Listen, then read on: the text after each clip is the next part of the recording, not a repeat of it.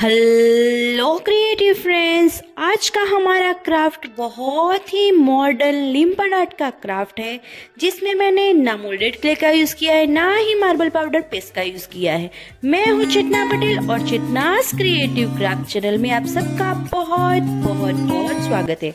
तो फ्रेंड्स यहाँ पे मैंने केक की वेस्ट डिश का यूज़ किया है, यानी कि केक के नीचे का जो बेस आता है, उस बेस का यूज़ करके आज का हम क्राफ्ट बनाएँगे।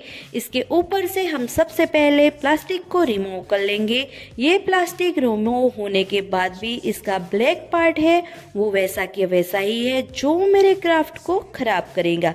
इसलिए इसका पीछे का जो पार्ट है, इसका यूज़ करके आज हम हमारा क्राफ्ट बनाएँगे। तो फ्रेंड्स, आप देख रहे हैं कि हमने पीछे का जो ये पार्ट है, उसके ऊपर हम कलर को अप्लाई करेंगे। यहाँ पे मैं ब्लू कलर को अप्लाई कर रही हूँ। आप ब्लू कलर की जगह पे कोई और कलर का भी यूज़ कर सकते हो। लेकिन आपको यहाँ पे जो भी कलर यूज़ करो, उसमें डार्क और लाइट दो शेड का यूज़ करना है, तभी आपका क्राफ्ट अच्छे से रेडी होगा। और आप एक्रेलिक कलर के दो कोटिंग लगाइए, तभी ये अच्छे से सेट होगा। मैं यहाँ पे ग्रीन कलर्स को अप्लाई कर रही हूँ। ग्रीन कलर से मैं टेक्सचर जैसा लुक दे रही हूँ। इसके लिए मैंने हार्ड ब्रश का यूज़ किया है। आप भी हार्ड ब्रश का यूज़ करके ऐसे धीरे धीरे टैप करके अपने क्राफ्ट को एक टेक्सचर दीजिए। तो हमारा ये क्राफ्ट टेक्सचर लग के रेडी है। अब मैंने यहाँ पे ये प्लास्टिक सीट लिए है और इसी प्लास्टिक सीट से मैं कॉर्न को रेडी करूँगी। तो आप भी इसी तरह प्लास्टिक सीट से कॉर्न को रेडी कीजिए और इसे सेलो टेप से सिक्योर कर लीजिए। तो फ्रेंड्स हमारा ये कॉर्न अब सिक्योर होके बन के रेडी हो गया है। इसमें मैं मार्बल पाउडर का यूज़ नहीं करने वाली। मैं यहाँ पे एक्रेलिक वॉल पुट्टी जो बाज़ार में रेडीमेड मिलती है, इसी का यूज़ करके आज का हम मॉडर्न लिम्पनाट का क्राफ्ट बनाने वाले हैं। तो फ्रेंड्स, आप देख रहे हैं कि मैं यही वॉल पुट्टी का यूज़ करके इस कॉर्न में इसी वॉल पुट्टी को फिल कर रही हूँ। तो फ्रेंड्स, आप बिगिनर्स हैं और आपको वॉल पुट्टी की पेस्ट बनाना नहीं आता तो आपको यही एक्रेलिक वॉल पुट्टी का यूज़ करना चाहिए। इससे हमारा क्राफ्ट है, वो बहुत ही अच्छा बनता है और साथ में हम कौन से काम करते हैं तो ये काम कौन है, वो बहुत ही आसानी से चलता है और हमारा क्राफ्ट है, वो बिगड़ता नहीं है। तो आप पीछे से इस तरह से इस कॉन को सिक्योर कर लीजिए, ताकि हम जब काम करें, तब हमारा क्राफ्ट खराब ना हो और पीछे से पेस्ट ना निकले। तो हमारा कॉन रेडी है? अब हम इसके ऊपर डिज़ाइन को ड्रॉ कर लेंगे। यहाँ पे मैंने एक ट्री की ब्रांच को ड्रॉ किया है, यानी कि ब्रांच वाले लीव्स को यहाँ पे ड्रॉ किया है।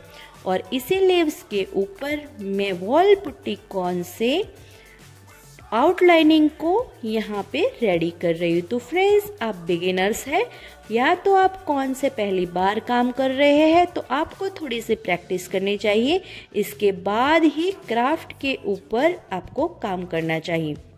तो फ्रेंड्स, आप धीरे धीरे करके बहुत ही ध्यान से इस तरह से डिज़ाइन को ड्रॉ कीजिए। कौन को बिल्कुल भी खींचे नहीं। इसे बहुत ही स्मूथली और धीरे धीरे चलाइए।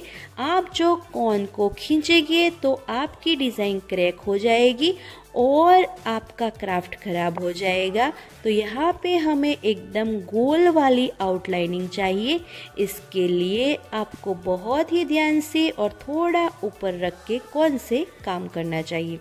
तो आप देख रहे हैं कि हमने ये सभी लीव्स के ऊपर आउटलाइनिंग लगा दी है और हमारे ये लीव्स आउटलाइनिंग लग के रेडी हो गए हैं। तो फ्रेंड्स, आप तो जानती ही है कि इस मंडे को, यानी कि 16 अक्टूबर को मेरा लिम्पनाइट का फुल कोर्स की वीडियो आने वाली है। तो फ्रेंड्स, आप इस वीडियो को सोमवार, मंडे को साढ़े बारह बजे देखना बिल्कुल भी ना भूले, क्योंकि इसमें मैंने लिम्पन आर्ट में जो चीज़ें यूज़ होती है, इसमें कौन सा कलर यूज़ होता है, कौन सी क्ले यूज़ होती है, हम कौन से बेस का यूज़ करते हैं, इन सभी की इन्फॉर्मेशन मैंने इन वीडियोस में दी हुई है।